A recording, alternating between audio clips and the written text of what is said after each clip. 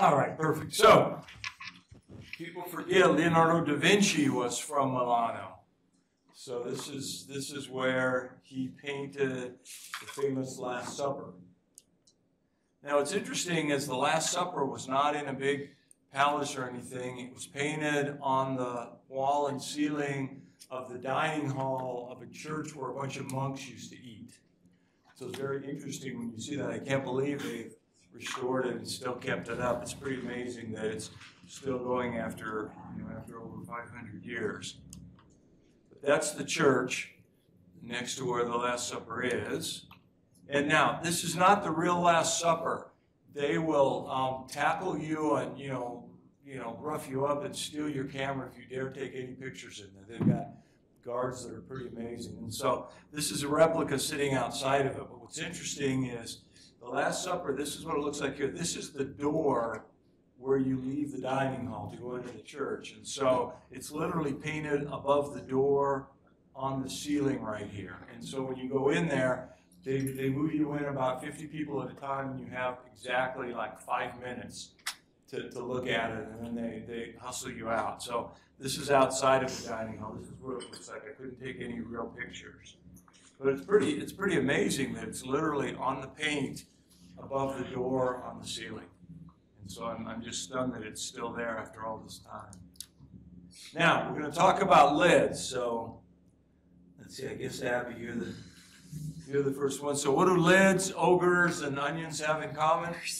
Layers. All right, so let's talk about the layers of the eyelids.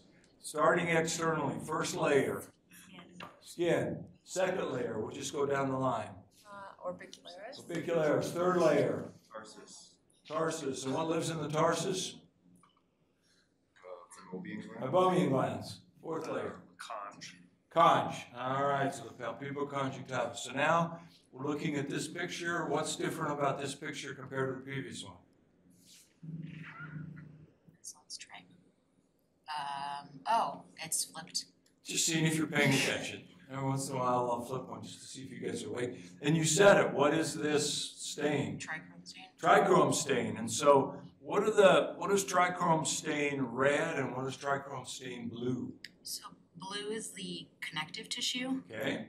and then pink is like the epithelium or. Wait, I'm blanking. Connective tissue. I forgot pink. Yeah. Well, pink is, is epithelium and also mesenchymal tissue. So, Oh, okay. on a trichrome stain, the muscle, the epithelium will all stain eosinophilic, they'll stain red. But the dense connective tissue of the tarsus stains blue. And so that's how, how we can delineate that a little bit. So now, we're looking at the skin. Would you swing around the corner? Tell us about the skin of the lid. Yeah. Um, so, Okay. so you can see that on the top surface there is uh, keratin, All right. So it's keratinized epithelium. and then right underneath that would be stratified squamous epithelium. Um, and then I think you can see some dermal appendages there. And then right underneath that, there's no dermis or fat; it goes right into muscle. All right, so what's different about lid skin compared to skin elsewhere in the body outside the lid is there's no true dermis, no true organized dermis, but also there's not fat except, well, some of those older vets, you know, you can see they've got a lot of fatty infiltrate underneath, but most of the time there's no fat underneath there. And the other thing is there's not the rete ridges and pegs that you have in normal skin elsewhere outside the eyelid. So you don't have that epithelium anchored as tightly down to the tissue. And if you've seen someone who's got either an allergic reaction or got hit in the eye, you can get a tremendous amount of swelling under that epithelium. What's the layer underneath the epithelium? What muscle? All right, orbicularis muscle. So remember, the orbicularis muscle has three main parts. All right, what's one part of the orbicularis muscle? Tarsal. All right, so we call it the pretarsal in front of the tarsus. Second part, Preseptal. Preceptal, so in front of the orbital septum, the third part.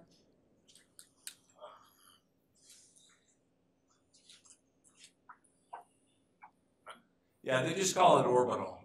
So, so it's like, it's like concentric Cs. And so it comes in, and again, there's that little gap near the medial canthus. And so in front of the tarsus, and then in front of the septum, and then peripheral to that. And so you can see that that's what it's that's what it looks like right there. And remember, the orbicularis runs this way.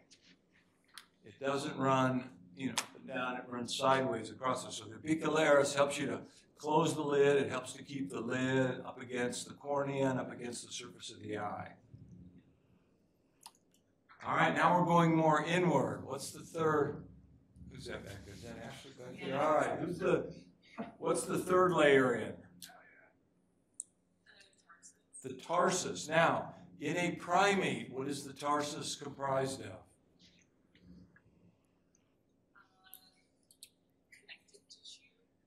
So very, very dense connective tissue. Reason I, I said primate, if you're ever working with rats or rabbits or anything like that in your research, they have cartilage in the tarsus. But primates do not. So we have dense connective tissue, but we do not have cartilage in our tarsus. Okay, what, what glands live in the tarsus? Meibomian glands. All right, so now we can look at it right here. You can see that you've got the tarsus right here. You've got the meibomian glands. Now, what I like to do to remember this is think of grapevines. Have you ever seen grapevines? There's clusters of grapes, and then they're on a central vine and then a trunk. And so basically, these clusters of these grapes, the meibomian glands, dump into this central duct, which then comes out just along the posterior surface of the lid and dumps out. And so this is where the meibomian glands, they dump their sebum component into it, okay? Now, while we're here, the, the meibomian glands dump one of the components of the tear film. What are the three layers of the tear film? So have oh gosh, the mucin layer, Okay? and then the aqueous, and then the oil. All right, so what is, what is made by the meibomian glands? The oil. The oily layer. So the meibomian glands make the oil layer that coats the surface of the tears. That's thought to kind of keep the tears from evaporating. So even if you have normal aqueous production and you've got meibomian gland disease, you get what's called evaporative dry eyes. The, the aqueous will evaporate because you don't have that secretion of the mucin that's coming from these meibomian glands dumping into the uh, surface of the tear film. All right, so what are, what is this? Why would I be showing you this? Glands, probably related to the maple gland. All right, now look more closely at those glands. So, like, uh, eccrine. Exactly, so are meibomian glands eccrine glands? So,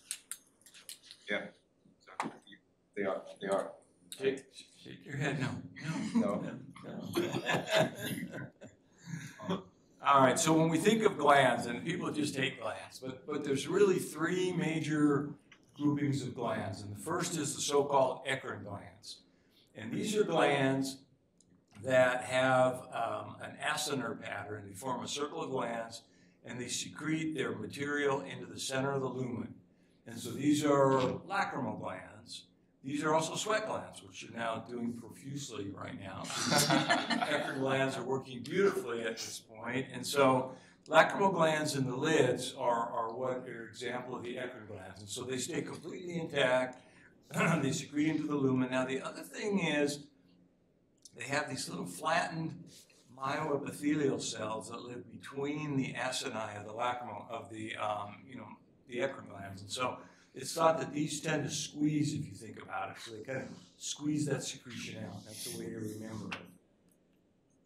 Okay, now the lid margin is a target. Oh, yes. So, is that the, like the kind of sweat glands and all three of the lacrimal, like the Krauss ring and lacrimal gland? You just you just took my next pimp question after this slide, but that's okay. The answer is yes. All right, so the answer is yes. So you do get credit for that. All right, so now the lid margin, as they say in, in Top Gun, is a target-rich environment for asking questions.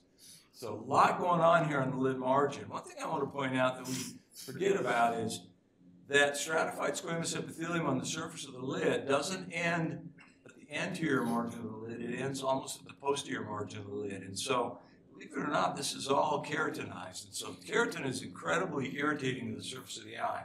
So, if you have ectropion, the eyelid is turning in, even without lashes scraping, just that keratinized epithelium will scrape. So, that can really make a difference. But there's a lot going on right here. You can see here are the eyelashes, and what's interesting is you can see some of the lash follicles are really deep.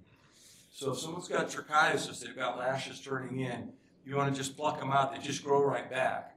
But if you want to kill the follicle, you can't just zap the edge of the lid. You have to go all the way down to the base of that follicle, which is sometimes at the top of the tarsus here. So here you've got a lot of these eyelashes here. You've got some glands associated with them. And then finally, posteriorly here, this is where the meibomian glands dump into the meibomian orifices, way on the posterior surface. All right, so we are looking at, this is an eyelash.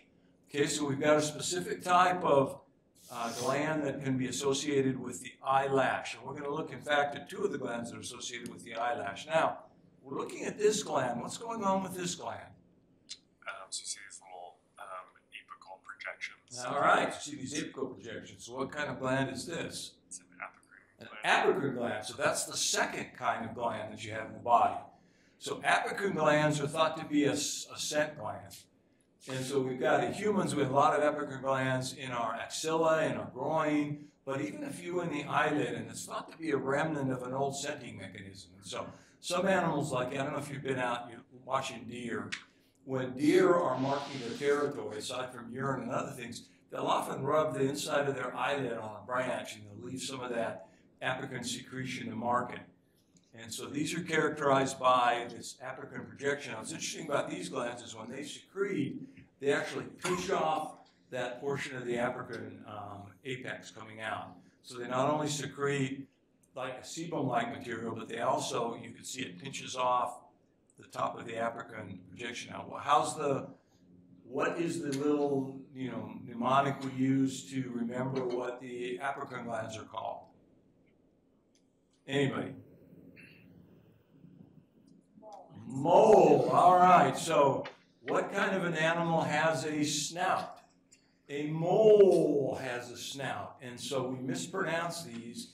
These are the apocrine glands of mole. It's actually spelled Moll, M-O-L-L. But you mispronounce it as mole, and that's how you remember because moles have snouts. Apocrine glands have snouts. And then, of course, we, yep. Okay, and of course, we talked about the third type of gland, which is Uh, holocrine Holocrine gland, now, which is characterized by the sebaceous glands, the meibomian glands. Now, holocrine glands are different. They don't stay intact when they secrete. In fact, when they secrete in, into their lumen, they secrete their entire content. They literally regurgitate it.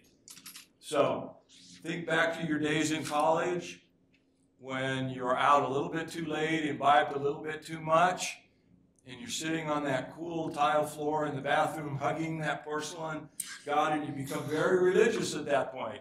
Oh God, I'll never drink again if I can get through this.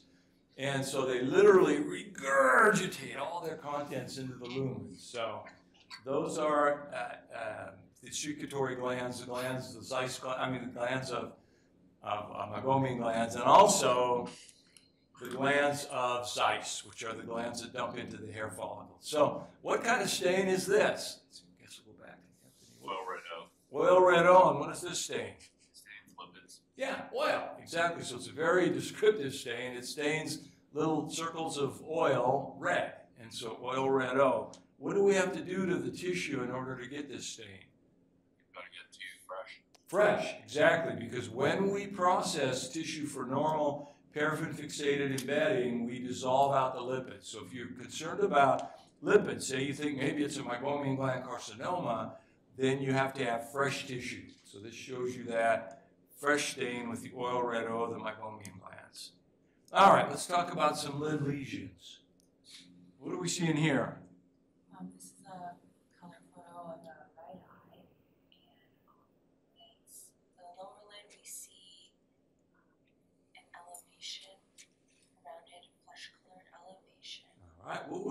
differential, this, this particular lesion.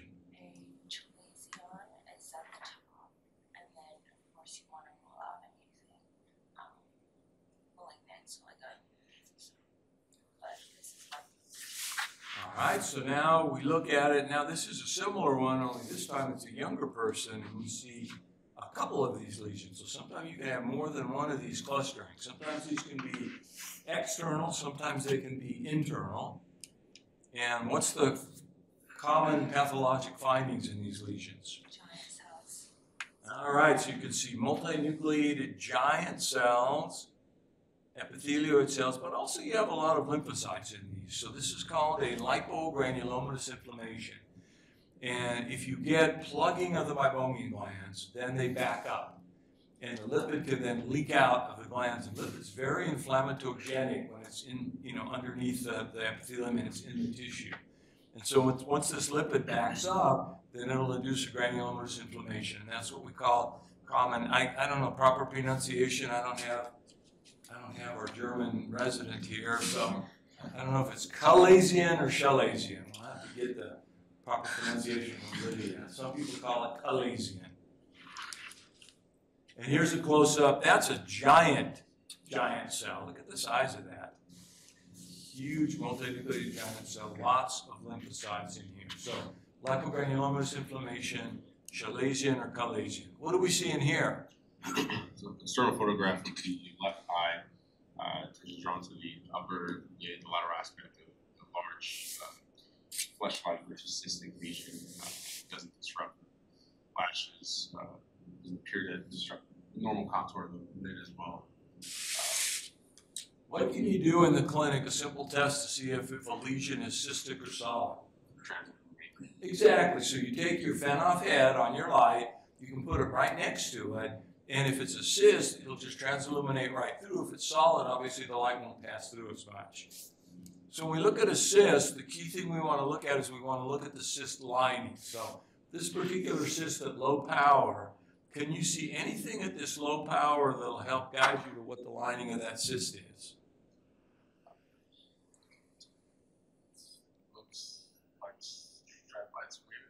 Okay? And then what is this stuff? bunch of keratin inside. Keratin, so that's the tip off.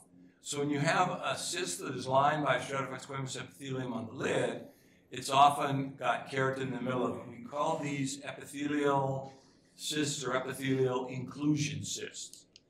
And here's a little bit of a close up. There's that stratified squamous epithelium, but this is all keratin. So these cysts will just get filled with keratin. There's a close up, stratified squamous epithelium, lots of keratin. So epithelial cyst, epithelial inclusion cyst. Now we're looking at another cyst right here, a little bit different location, kind of the lateral canthal area. And what do we have on the lining of this cyst? Um, so it's, it's like, one cell layer thick, more cuboidal shaped. So what kind of cyst forms has one to two layers thick cuboidal lining? Um, yeah, eccrine lymphocystomas. All right, so you can see one, one to two cell layers thick square cuboidal, no keratin or anything in there. So this is called an eccrine hydrocystoma. Hydrocystoma, literally water-filled cyst. From which language? From the Greek, of course. So the Greeks invented all of ocular pathology. You know that, right? In fact, all of medicine comes from the Greeks. Okay, so sorry, I don't know if we have anyone here whose roots are from China or from India, but they claim they invented everything too. So, so as did the Romans. So everybody invented everything. So, all right, so that's an eccrine water-filled cyst. Now this is a different one. What do we see in here?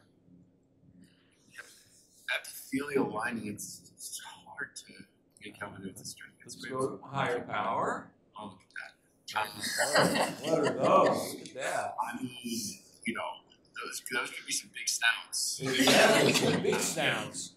Yeah, it almost looks like a single layer. It's maybe one, one to two layers thick, lots of snouts. What Look do at we all call those this? snouts. It's got me thinking about apocrine. Exactly. So you can actually have an apocrine hydrocystoma, lots of snouts. So you get eccrine hydrocystomas much more commonly, but also you forget you've got those apocrine glands of who? Uh, mole. Mole in the eyelids. And so this is an apocrine cyst. You get apocrine cysts also. And here you can see it again. Look at all those little snouts sticking out into the lumen. Apocrine hydrocystoma. All right, what are we seeing right here? I guess we'll go back to Ashley again. All right, what makes you say it's molluscum?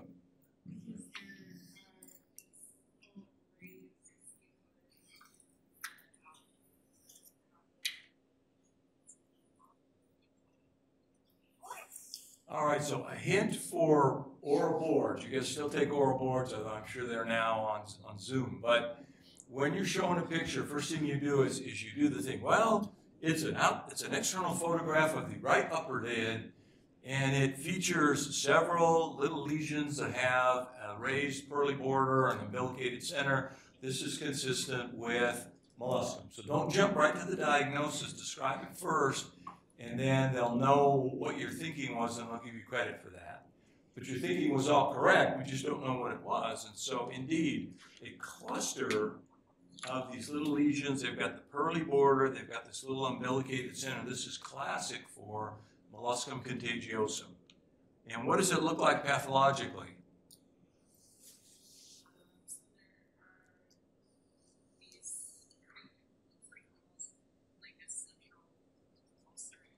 All right, so the central crater with the raised edges, epithelium markedly thickened. And what else do we see in molluscum that tells us pathologically that's molluscum?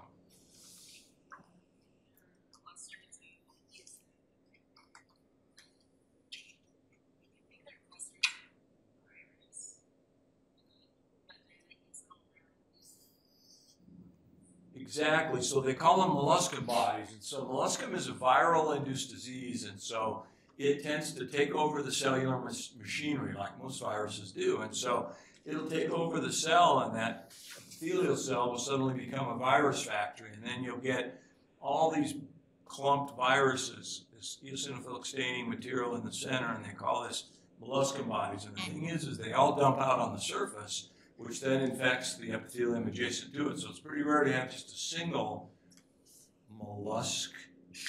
I don't know what single mollusk is, but um, but usually have clusters because the virus will spell out and you'll get multiple clusters of these. All right, what are we looking at right here? I guess is that Mubarak back there? Okay, what are we looking at right here? Now, this is an internal photograph.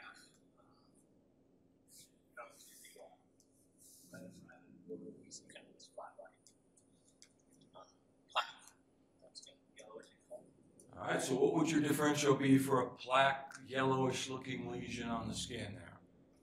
I don't know, so highest would be like plasma, um, other considerations could be like disease, like less than something.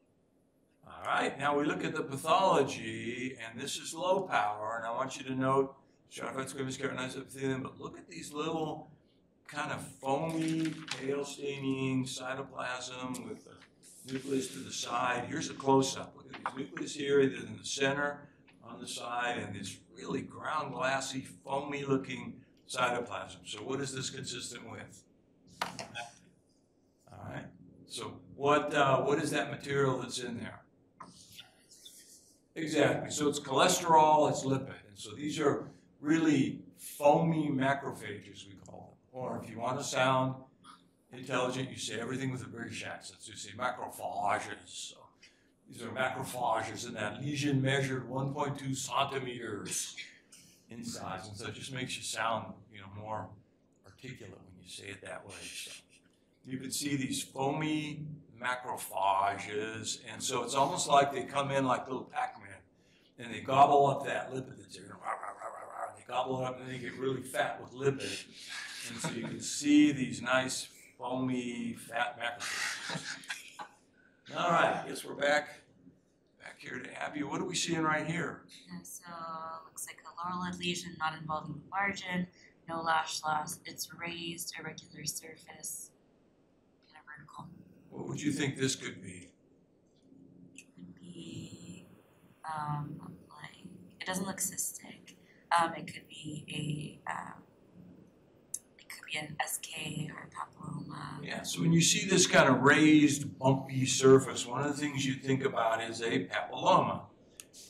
And so when you go back here, you can see at low power Indeed, you see that there are these little fingers of epithelium sticking out, and there's hyperkeratosis, a lot of keratin in between, but what I want to is, look at these little teeny tiny blood vessels coursing in between these little fingers of epithelium sticking out. So the way we, we remember squamous papilloma is it's like a gloved hand. And so you've got a thick glove, which is the thickened epithelium and the keratin in it, and then the fingers of these little fibrovascular cores in between. So this is a papilloma, classic papilloma. Another view, again, showing these fingers sticking out around the thickened acanthotic epithelium and a lot of hyperkeratosis on the surface. Here's a nice close-up that shows it beautifully. So gloved hand. Here's the glove, thick epithelium with the keratin. Here's the finger, those little fibrovascular cores in between. So this is a papilloma. It can be viral or it can be just a reaction. And so squamous papilloma benign. Now, sometimes you can get a lot of keratin whorls and keratin pearls mixed in here. There's a lot of these whorls and pearls of keratin, so definitely hyperkeratotic, a lot of whorls and pearls. There's a cross section. So just think you've got your gloved hand here and you basically just cut the fingertips off right across. And so you see the center, the finger, and then the glove around it. So central fibrovascular cores, thickened acanthotic epithelium surrounding it. All right, what are we looking at right here? So this is a lesion that's raised, it's pigmented, and it's got multiple areas that are kind of rough. Almost looks stuck on in areas. So what, what would this most likely be? This looks like a seborrheic keratosis. Exactly. So all that crusty looking material there, that is all keratin. And so these often look like what we call stuck on. And so it's almost like you could just get your finger into there and peel this guy off. And sometimes patients do that. They try to peel these things off because there's a lot of keratin on there. And when we look at it pathologically, boy, it kind of looks a lot like a papilloma. The only difference is, is instead of those fingers sticking way out, the fingers go inward.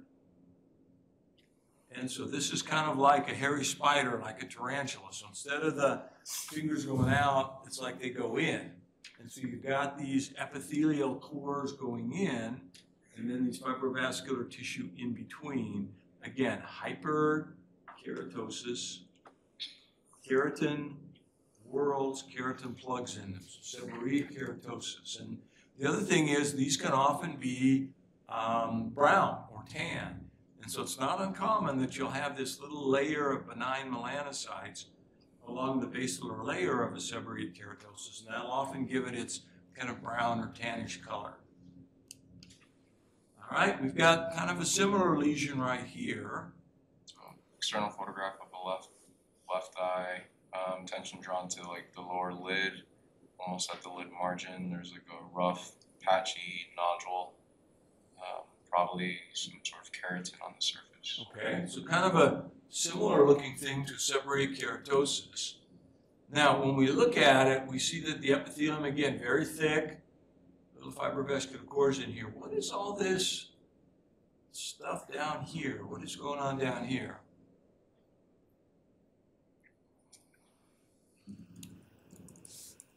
Got like degeneration, uh, collagen degeneration, like basically Okay, exactly. So what causes this? solar sun damage. Yeah. So this is what we call basophilic degeneration. And so this is a UV, a solar-induced damage. And so remember, these lesions are often on sun-exposed skin. And so you can see a lot of UV damage underneath here. Now, when we look at the epithelium, I just want to point out it's a little bit more active than you see in normal seborrheic keratosis. At low power, you can see that there's little nucleoli in here. Cells are just more active. There's a lot of keratin down deep. And this is consistent with what we call an actinic keratosis. So this is kind of a seborrheic keratosis, maybe more down the line. And so this is kind of a pre-malignant lesion. And so solar damage, a lot of keratin, thick epithelium, but just a little bit more active. Nucleoli, clumped chromatin. So kind of similar along the scale of seborrheic keratosis, but now a little bit more active, so it's what we call an actinic keratosis. All right, what are we seeing on this picture? Um, so as external photograph, attention drawn to the lower eyelid, you have this nodular uh, lesion with central ulceration that's causing uh, lash loss, maybe a little bit of notching of the lid right there. Yeah, so this is different than what I've shown you before. Here, there's lash loss. And the margin is kind of thickened, and you've got this ulceration here. Is that important? Yeah, it suggests kind of more of a malignant process. All right, so whenever you see lash loss, you really want to be concerned of a possibility of a malignant lesion. So you're looking at this, it's on the lower lid, it's got raised borders, ulcerated center. What would be the most common cause of this lesion? Most common would be your basal cell on the lower lid. Okay.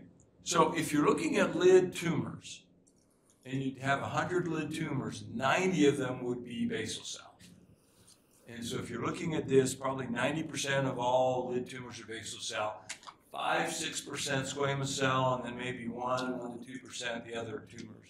So by far and away the most common, basal cell. Now, it's most common in the lower lid, in the mediocanthal area. Why?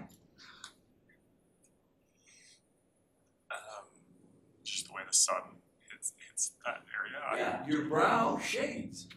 And so if you think about it, your brow and your, you know, eyebrow here and your, your uh, bony prominence here kind of shade the upper lid a little bit. So if you're looking at a sun-induced lesion, which basal cell is, it's more inferior and inferior medium because it's not quite shaded. So that's where you most commonly see these. Now, these can present sometimes differently. Believe it or not, this is a basal cell, yet it almost looks like a solid nodule. But again, some notching, look at the loss of lashes. So again, concern for a basal cell. What does a basal cell look like pathologically? Go ahead, and go ahead, Nora. Um, yeah, we see palisading nuclei, um, and then meaningful artifact, which just kind of like the space that we see around the palisading nuclei. All right, so we call it palisading or lining up like a little picket fence. No, last picture, since there's lots of lashes, if you saw that moment, uh, would you have to remove like more than just that area? Exactly. So the problem is, is sometimes you don't know exactly where the tumor is and where it isn't. And so if you've got a nodule here, you may not want to just remove it there and there because look over here, a little bit of thickening here, a little bit of thickening here. So you probably, when you're going to try to remove these, you want to make sure you've got clear margins. So you want to remove a lot more than you think just by looking at the lesion. All right, so palisading. The nuclei in a basal cell, they form these nodules. They line up at the edges. So think of it as a white picket fence surrounding a house. And so it's like a little picket fence surrounding it. And then because these tumor nodules tend to be more solid, they shrink more when we process. So this is what we call a meaningful artifact, meaning it's an artifact, but it's meaningful because basal cells, nodules of them shrink more than the tissue around them, and you get this little white space around them. So so-called meaningful artifact. And here's a close-up. You see the cells themselves, they're large, basal extending nucleus, very scant cytoplasm, but benign appearing. So if you look at these, they really do behave in a, in a more benign way. They'll often be solid or cystic, and they don't usually metastasize basal cells. And here's what we call a cystic basal cell, or nodulocystic. So big nodule, cyst in the center, but look even at low power, look at the palisading, look at the little white halo around them where the tissue shrinks more. So nodulocystic basal cell, by far the most common variety. But you can have another variety. Let's go behind you there, Anthony. Another variety of basal cell. So, so nodules, these look more diffuse, finger-like projections, and I think this would be more morpheaform. All right. So Morpheaform, is that something you know that you need to be concerned more about than a nodulocystic basal cell? Uh, I think it'd be worse. Okay. So the reason is the Morpheaform basal cell sent little fingers of basal cell out underneath the tissue, and it can even spread under the epithelium in what's called a pagetoid type spread. So the problem is you can't see where this is. So you, you know, nodular type, you can see the nodule, you can cut it out. Morpheaform type, these little fingers extend out and it, it induces a dense fibrous connective tissue in between. So they call this a scirrhous reaction, fibrous tissue reaction. So morpheaform, if you're doing a surgery for a morpheaform basal cell, you often have to do a particular technique. And who's this technique named after? Mohs. So now it's Mohs, M-O-H-S. It's not Moe, you know, of the Three Stooges. You know, not not not Moe. And so if you ever look at those Three Stooges, it's very bad for kids. They wouldn't allow them on TV now because they're poking each other's eyes out all the time. My God, you look at that. So different Moe. So this is Mohs uh, the surgeon. And so Mohs surgery, what you do is, is you shave off little pieces around the tumor and then you actually have a um, area right next to the OR where they freeze the tissue and stain it for you, and you can look, and that way you can make sure you've taken out all of this tissue. And so now this is another type, a little, you know, really obscure variant. I won't even ask anybody about that. But sometimes these basal cells could take on a more glandular element. And so they'll even have like a glandular type of basal cell. Now, this is a little bit of a different looking basal cell. Now, what are we looking at right here? See the above uh, has keratin, uh, a lot of keratin, uh, below it left as well. Uh, so combination of uh, basal cell and cell. Exactly. So we call this a basal squame. The reason that that's important is the basal squame is a little bit more aggressive than a simple basal cell. So basal squamous carcinomas, they take on more characteristics of a squamous cell in addition to a basal cell. Now, the reason for that is basal cells arise from a pluripotential cell along the basal layer of the epithelium. So they can actually transform into more like squamous cells or more like basal cells, both. Now, you say basal cell is a benign lesion. Yeah, that's true. This is a patient that Rick Anderson had seen even before Whoopi was here. This is an old picture. This lady is a, is a rancher from Nevada. She came in, we did a biopsy. She had morpheoform basal cell. They said, We've got to take this out or it can grow. She said, I'm an old lady, leave me alone. And she went back home. This is now 10 years later. Now, her daughter brought her in. She had a piece of Kleenex stuck over this lesion. We took off the Kleenex. This is what it looks like. Now, the reason that the daughter brought her in is because it smelled. And so you can see if you let a basal cell grow for 10 years, believe it or not, that's sinuses you're looking at. And there was even CSF dripping out. So by now, this is more than just a housekeeping problem. I mean, you have to do a hemifacectomy to take care of this. And so, you know, morpheaforms, get them out while you can. Don't let them grow to this type of lesion. This took 10 years, but it can be quite destructive if you let it grow locally. All right, different kind of lesion. Yes, this looks like external photograph of the left eye on the lateral canthal area of the upper eyelid. There's this extremely large, firm appearing, um, like a brown crusty ulceration. Um, I'd be concerned if like a squamous could be a basal as well. All right, so because you've got this kind of parchment look to it, um, not so much ulceration, but this parchment look you'd be concerned about an epithelial lesion in this case. And of course, the most common one in the upper lid is a squamous cell. Now, sometimes, look at this patient, a lot of sun damage all over the skin, but um, it's interesting, they call this a rodent lesion. Now, again, my brain remembers things differently. And so, a rodent lesion, it looks like a rodent took a bite out of it. So that's how I remember rodent lesion. Looks like a mouse nibbled on it. And so it's got this little erosion here. And that can also be a squamous cell. And how is a squamous cell different than a basal cell? Um, you have hyperkeratosis. Um, you can get keratin whorls as well. Yeah, which is keratin more. And the cells are not these big blue nuclei. They're more this, this pink cytoplasm with a nucleus that's got nucleoli in it and a pink cytoplasm. So a lot different looking. Looks like epithelium basically, only it is active at this point. Squamous whorl, squamous pearl. So this is squamous cell carcinoma. Now, what are we looking at right here? external photograph of the right eye. Um, there's thickening, especially of the upper eyelid margin. The eye is very angularly injected.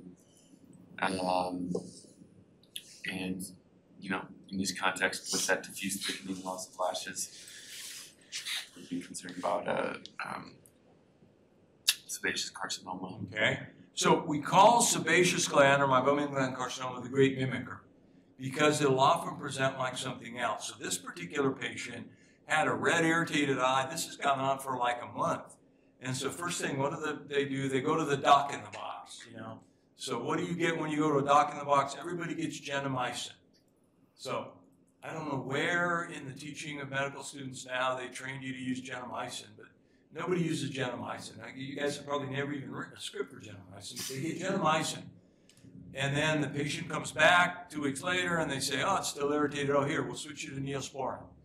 So then they use neosporin. It's not any better. Finally, the patient comes in to see you and you see them. You say, wow, look at this lid margin. Look how thick that is. And those yellowish areas indicative of lipid loss of lashes. So your concern here would not be a chronic, you know, flow conjunctivitis, but would be a meibomian gland carcinoma. Now, these can sometimes be a little bit more subtle. In fact, this particular patient presented with what was called a recurrent chalazion. So they had a chalazion and they treated it with hot packs. Bless you. It went away, it, it came back again. But look at that, it's kind of lumpy, bumpy, loss of lashes. And so, again, the great mimicker. And so sometimes meibomian gland carcinomas can present as a recurrent chalazion.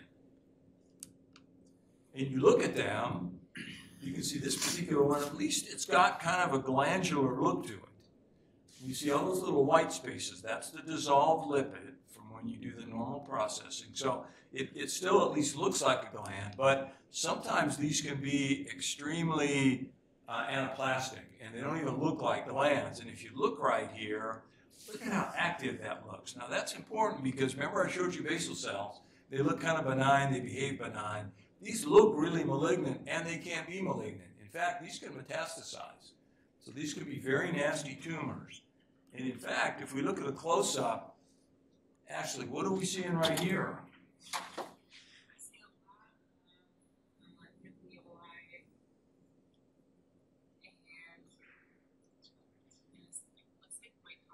Exactly, that's a mitotic figure. So these are very active lesions. They have mitotic figures in them. Now, these can be poorly differentiated. Yeah, that's a nice mitotic lesion. But one of the things that can help, look at these little white areas here. That is dissolved lipid. And so that often helps to, to differentiate this when you look at it pathologically.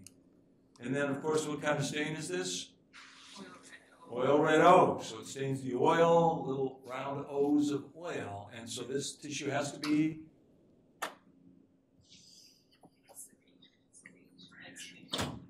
Well, what, how do you have to prep the tissue to do this thing? Oh, gosh. Fresh. So remember, you can't put it in formalin. This has to be fresh tissue.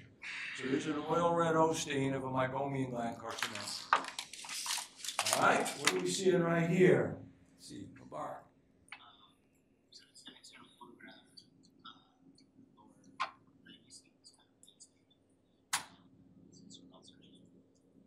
Okay, so what would you be concerned about here? be concerned for something like venous, that's like. All right, so when you see a pigmented lesion, first thing you always want to think about is, boy, you don't want to miss a melanoma. And so you look at it and you say, well, there's no loss of lashes, it's kind of uniformly elevated, probably a nevus. And we look at it, and what does this show? All right, so they're at the junction, but also they are at subepithelium. So what would we classify this as? Compound. So if the melanocytes are just at the junction, we call it junctional nevus. If they're at the junction and underneath it combined, we call it a compound nevus. If they are just completely below the epithelium and don't affect the junction, we call this a dermal nevus. Exactly. Now remember, in the lid, there's no dermis, so it's an incorrect term, but it's there, so we still call it a dermal nevus. But technically, I guess we should call it subepithelial nevus, but it still is a dermal nevus. All right, now we're looking here. Abby, anything alarming in this picture? Uh, yeah, the spread along the margin as well as lash loss. All right, so your concern here would be For melanoma, What? like a melanoma. Melanoma, exactly. So you can see again, sun damaged skin. You know, these lesions don't just pop up out of the blue. They'll often occur in people who've had a lot of sun exposure, a lot of UV exposure. Now, just like meibomian gland carcinomas, these can metastasize and people can, can die from these. And so you want to not miss these. And when you look at it, you see these nests of melanocytes. They're underneath the epithelium here. But you look at them in close up, look at the little. So you see these are active. Now, they, they don't necessarily have to be black in pigment, they can be just brownish pigment. And then, um, you know, that's the malignant melanoma. Now, we're looking at a lesion here. This guy did not get punched out. So this isn't, you know, your Saturday night referral from Rock Springs. You can, you can talk about your own hometown, you're allowed. So that's okay. So what are we seeing here? All my attention is drawn to a very swollen left upper limb. kind of swollen, push on it, it's not cystic, it's very doughy, it's almost infiltrative. And then you look at it and you see these cells. What are these? Look like lymphocytes. Exactly, so this is just a sheet of lymphocytes. So don't forget, although lymphomas are most common in the orbit and also conjunctiva, they can extend sometimes underneath the lid. And so you don't want to miss a lymphoma that either, now primary lymphoma rising just under the lid is pretty darn uncommon. It's usually an extension of an orbital lymphoma, but you see this uniform sheet of these lymphocytes. And so this is lymphoma of the lid. And when we get to orbit, we'll talk more about how we stain and how we differentiate lymphomas. Right, this is an interesting lesion. What are we seeing right here? So external photograph, attention paid to the left eye at the upper lid. Uh, there's a sort of violaceous nodular appearing lesion with erosion of the lid itself, um, especially more lateral. All right, so you would be concerned about this. Now, I don't expect you to know what this is because I just want to show you there can be really obscure lesions in the eyelid. But the key thing I want you to recognize is it is this big kind of violaceous dome-shaped lesion, loss of lashes. Uh, it's really irritating and there's this crustiness around it. And we did a biopsy on this and this turned out to be a very obscure tumor called a Merkel cell tumor. And these are tumors that, again, can be very aggressive. Look at that mitotic figure there. Big mitotic figure, these big cells um, with mitotic figure. So you can get very obscure tumors. This is thought to be a neuroendocrine derived cell, very obscure tumor. But just remember, you can get weird, rare tumors of the lid also. So I want to show you one more. Um, could this be? Um, so kind of have these little septations and inside of them it looks like you some keratin and then these little nests of um, So these are kind of epithelial looking cells and then they're surrounded by all this stuff around them. yeah, I'm not exactly sure what that is. Okay, believe it or not, you can also get um, um, tumors that, that are um, mucin producing. So this is an adenocarcinoma. And so I really miss Fred Jakobiec was the um, ocular pathologist. He used, used to be at the AFIP in New York and then eventually ended up at, at, Boston at Mount here. But he's just the, he was the, the best lecturer on ophthalmology. Sadly, he passed away a year and a half ago. But he would he would describe this as islands of epithelial cells surrounded by a sea of mucin. And so think about it, these little islands of these epithelial cells. This is actually adenocarcinoma, and this is all mucin. And then we do a mucin stain, and you can see the mucin stain's pink here.